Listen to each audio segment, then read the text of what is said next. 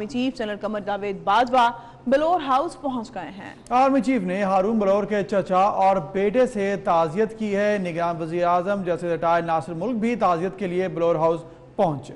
جی ہاں آپ کو بتائیں کہ افسوسناک واقعہ پیش آیا۔ پشاور میں یا کاتوت میں دھماکے کے بعد جو ہے وہ کنفرمیشن ملی کہ ہارون بلور جو ہیں، وہ اس دھماکے میں شہید ہو گئے۔ اسی پر بات کریں گے عظمت علی شاہ سے۔ عظمت علی شاہ بتائیے گا تعزیت کرنے والوں کا سلسلہ جاری ہے، آرمی چیف بھی پہنچے ہیں۔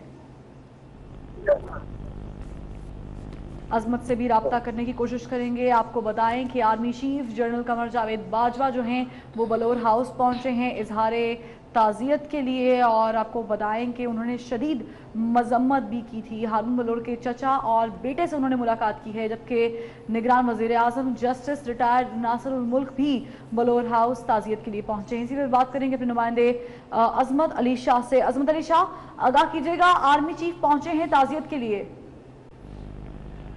آج دوسرے دن جو ہے ہاؤس میں ہارون بلور کی شہادت کی تعزیت کے لیے لوگ جو ہے ہر مکاتب فکر سے لوگ جو ہے وہ یہاں پر آ رہے ہیں۔ جسٹس ناصر الملک جو کہ نگران وزیر اعظم ہے وہ بھی تعزیت کے لیے پہنچ گئے ہیں۔ ساتھ ساتھ میں جو ہے نگران وزیر اعلیٰ اور گورنر پشاور جو ہے وہ بھی خیبر پختونخوا وہ بھی پہنچ گئے ہیں۔ ساتھ ساتھ میں ٹھیک ہے عظمت بہت شکریہ